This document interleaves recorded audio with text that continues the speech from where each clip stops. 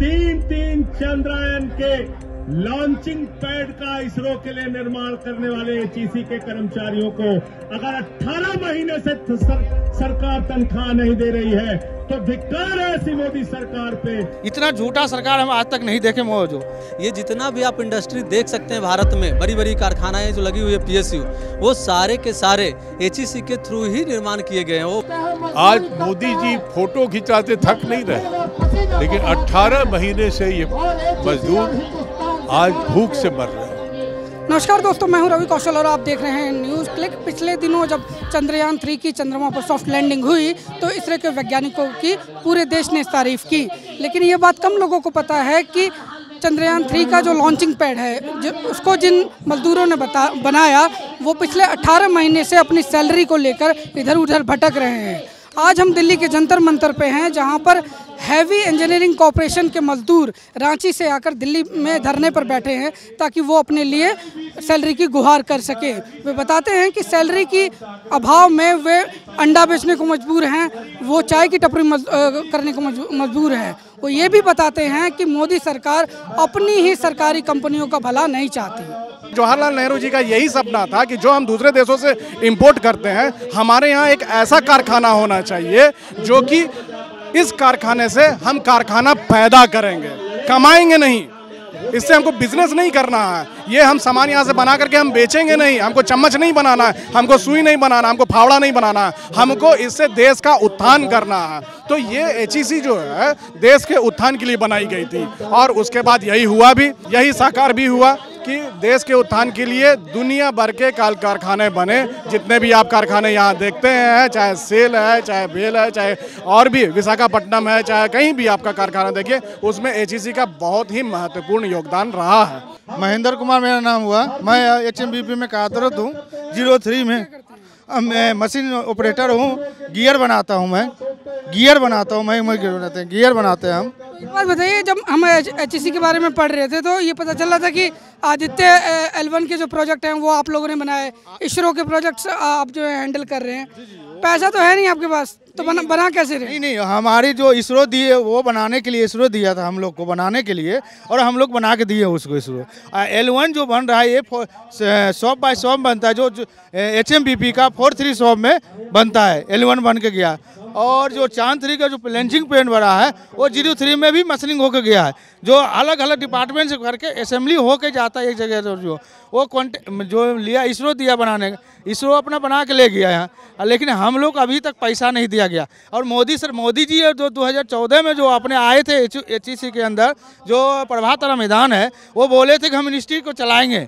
इतना झूठा सरकार हम आज तक नहीं देखे जो जो मोदी जी इतना झूठा नहीं देखे। वो अपना वीडियो देखे, तब पता चले, क्या एच को मजदूर इतना रो रही है, ऐसा स्थिति हो गया है कि खाने के लिए पैसा नहीं है। अपना पीएफ निकाल के रोजी रोटी कला मोमो बेच रहा है, किसी को हुआ तो पेपर बेच रहा है। किसी को ऐसा स्थिति हुआ कि मैंने, क्या बोले? हम ऐसा ऐसा स्थिति बता, बोलने के लायक नहीं है।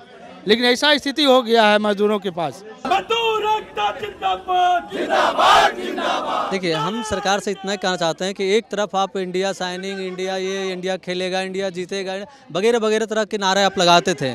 तो हम जिस कंपनी से आते हैं वो कंपनी जो है उसे जब जवाहरलाल नेहरू जी ने लगाए थे फ़र्स्ट जो प्रधानमंत्री हमारे थे तो वो कहे थे कि यह जो है मदर प्लांट है माँ है जननी है ये नो प्रॉफिट नो लॉस में चलेगी। इसके लिए कोई प्रॉफिट लॉस की बात नहीं थी।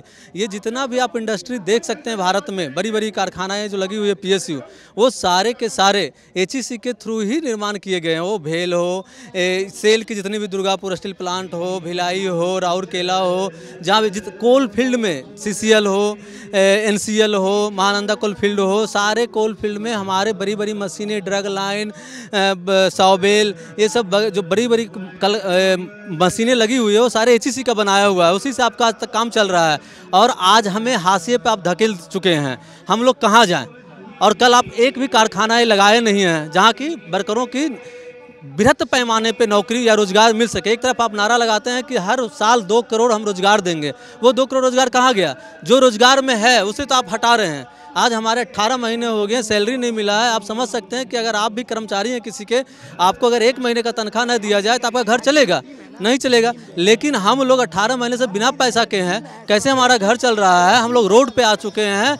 कोई ठेला चला रहा है तो कोई रिक्शा चला रहा है, कोई टेंपू चला रहा है, इस ढंग से अपना पेट को पाल रहा है। आप सभी से मैं आप लोगों से यहाँ पर आके मैं एक संकल्प लेना चाहता हूँ कि आप आप लोगों का ये जो पोस्टर देखते हैं उस पर लिखा हुआ है कि एच का आधुनिकरण कीजिए।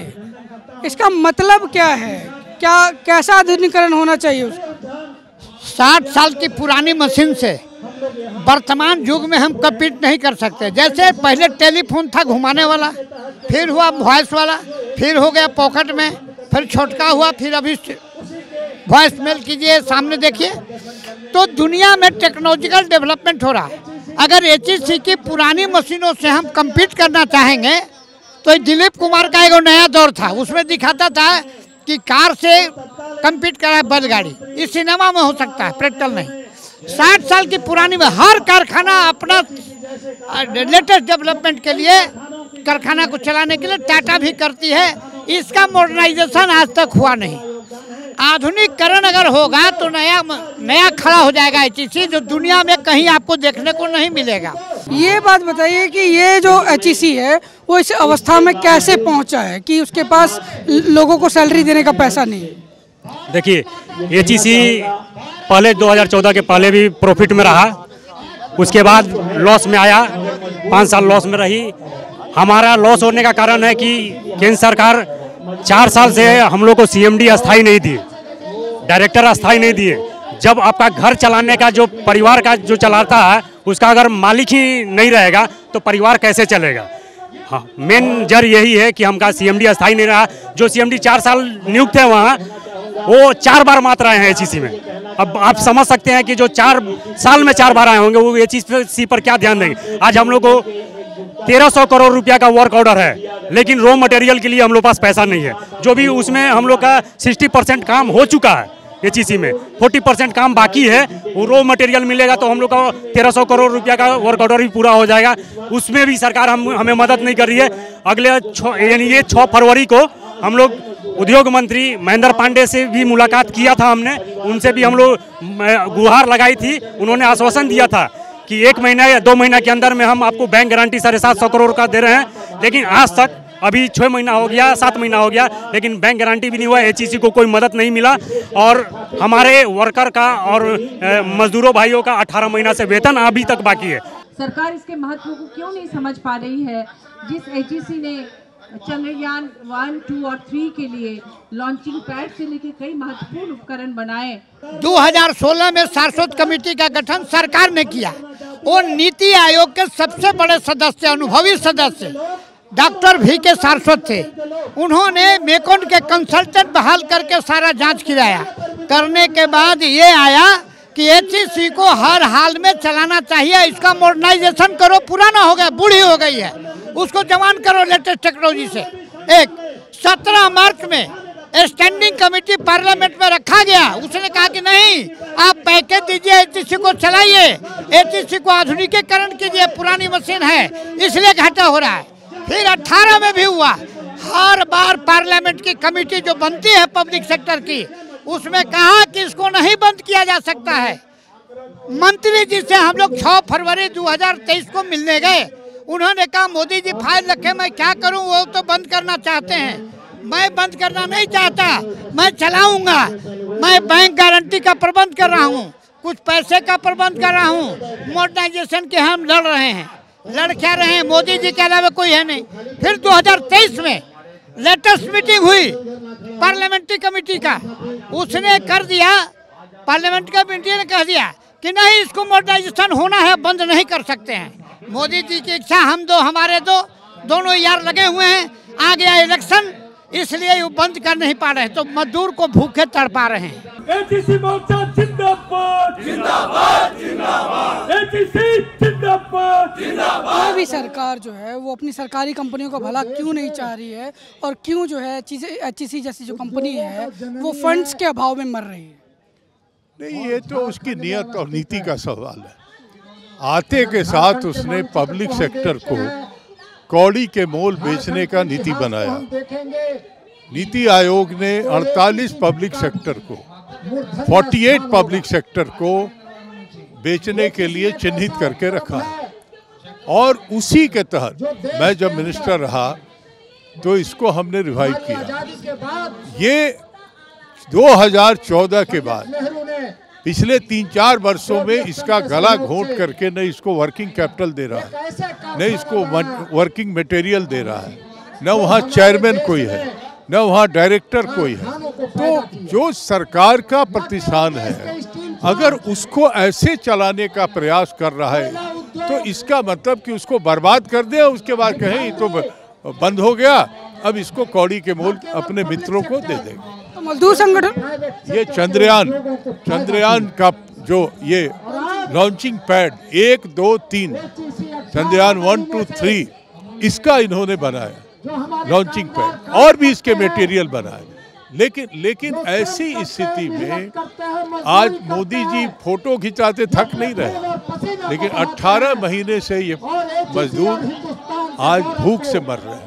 अगर 18 महीने से सर, सरकार तनख्वाह नहीं दे रही है तो धिक्कार है ऐसी मोदी सरकार पे जो अपने अपने लिए, अपने देश के लिए काम करने वाले लोगों का ध्यान नहीं रखती, जो अपने देश के लिए खून पसीना और मेहनत करने वाले लोगों का ध्यान नहीं रखती, उनको दो वक्त की रोटी के लिए मजबूर कर देती है।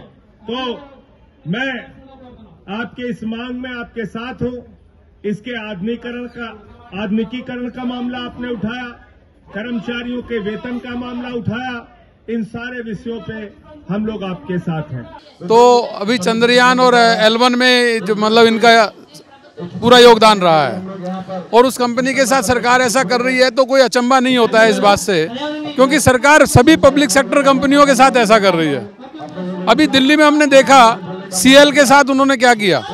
पिछले दो साल से सीएल के आंदोलनकारी साथी लड़ रहे हैं तब जाके उसको अभी तक बचाए हुए हैं और सरकार मौका तलाश रही है कि किसी तरह से उसको जो है प्राइवेट हाथों में दे दिया जाए। इसी तरह से एयर इंडिया ए, रेल बेल सेल सब कुछ सरकार बेचने में लग रही है। तो सरकार का इसके उसमें कोई भी इंटरेस्ट नहीं है कि वो इस कंपनी को बचाए। ज़रूर ऐसा हो सकता है कि जिस तरह से रफेल आया था और जिसको एक सुई बनाने का भी सुई बनाने का भी अनुभव नहीं था उनको रफेल के पार्ट्स बनाने के लिए दे दिए अंबानी की कंपनी को। जबकि हिंदुस्तान एरोनॉटिक्स लिमिटेड, एचएएल जो है, वो जहाज़ बनाती है, उसको उसकी मेंटेनेंस का काम नहीं दिया। तो ये जो कंपनी के साथ जो भारत सरकार कर रही है, ये एक साजिश के तहत कर रही है। ये ज़रूर इसी कंपनी को घाटे में ले जाके और जो है, किसी भी प्राइवेट उसको देना, देने की साजिश है। जिसका हम दिल्ली सीआईटीयू की तरफ़ से भी विरोध करते हैं और एच के कर्मचारियों के आंदोलन को पूरा समर्थन करते हैं। जब जब भी एच के कर्मचारियों को ज़रूरत होएगी, दिल्ली का हज़ारों हज़ार मजदूर उनके साथ रहेगा।